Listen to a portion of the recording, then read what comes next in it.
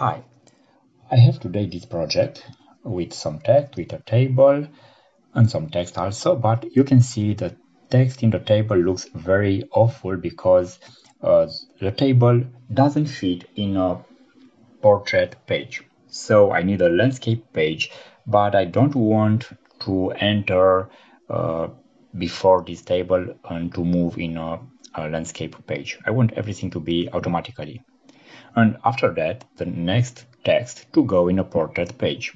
How we can do that in two moves. So let's go to table properties.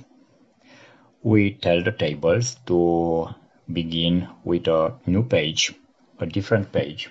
So we activate page break, okay, page break before that table with landscape page. So we have that table in a next page landscape. So it's much better. Now we select the next paragraph. Go to paragraph again paragraph and from here we go to text flow insert page. Before this paragraph so we want a new page. We don't want to stay with the text on the same page with this table. With default style with portrait style. So let's see what we have.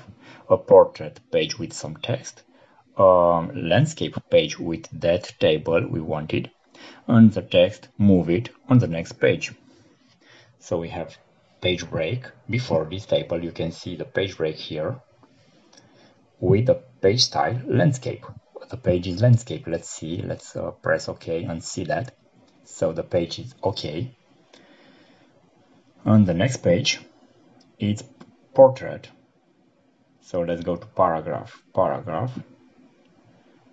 And we have insert page before that uh, that paragraph with default style that is portrait.